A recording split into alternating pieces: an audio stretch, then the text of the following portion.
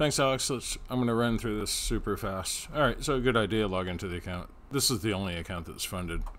Um, all right, so that's that. So let's go uh, over to Zapier. All right, so here's my new player. Right, this is where my data comes in. Uh, we just fly through this thing. So the um, we have to come down here. We can. This is connected to my back end. Fine. Over here we have the Tango card. Uh, we'll go right there. We'll grab that. Uh, this will show the data, right? So I have it where it's only one. I tried 1.00 um, and thought I would try this. So that's the dot. This would be the dollar amount, the prize name.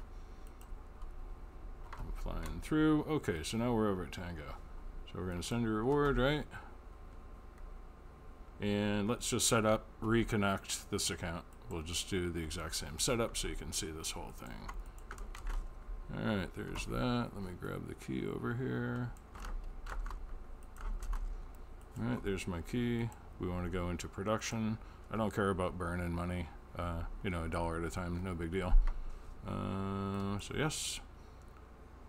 So boom, that connected, right? Test it. All good. Come over here. And here we'll just re-drop down these. Um, the interesting thing here, and maybe it's because the other account isn't funded, but this would be the account. Right, but what I'm talking about is this Zapier testing account doesn't appear. Or would that be down here? Oh, actually, I'm sorry, that would be here. So we're going to connect this one. Right? Am I doing this right?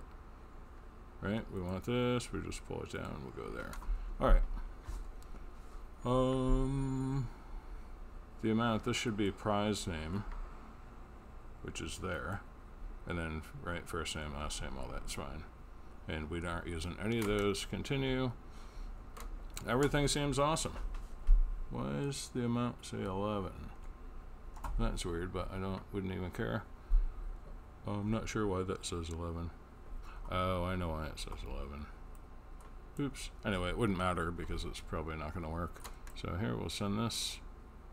And here we get the error there. And this standard message.